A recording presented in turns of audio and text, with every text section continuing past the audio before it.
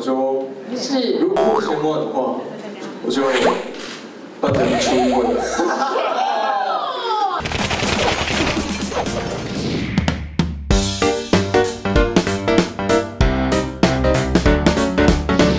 少年火星成员濮阳、佳琪、Max、成龙及俊廷五人所组成的 Phoenix 日前举办出道记者会，MV 还找来昔日战友欧总成员哲言的妹妹担纲女主角。那个时候想说大家可能拍一支影片之类的，感谢大家，回馈大家。不料下面有个观众直接说女装，我要看女装，然后我就我就很顺顺势的答应说好啊，女装 OK 没有问题。二三。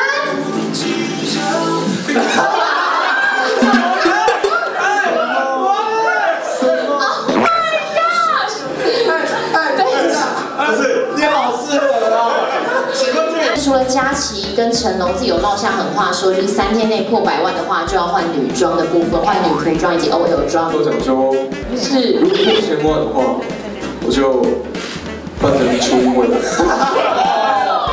好啊，那时候有讲就是千万嘛，就要办那个《鬼灭之刃》里面的那个蜜梨。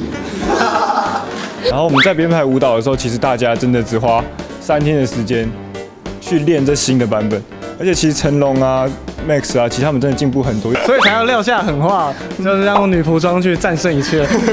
但是，但是其实我觉得，其实看到每个团体能够都有自己的作品，其实我不会觉得那是会紧张，反而我觉得那是一个非常良性的竞争。我自己非常喜欢大家一起往前的感觉。不会不会，因为他们的礼物，他们的礼物我不敢收，是因为你知道，就感觉他们其实没有很细心哎。我觉得最怕收到谁？我真的最怕收到濮阳，因为因为濮阳太了解我，他之前送了我一盒蜘蛛，假的假的假的那种蜘蛛，对，因为我很怕拉。对，我很怕那种粗腿多毛，然后腹部又大的那一种，就是会跳。你们会怕那种吗？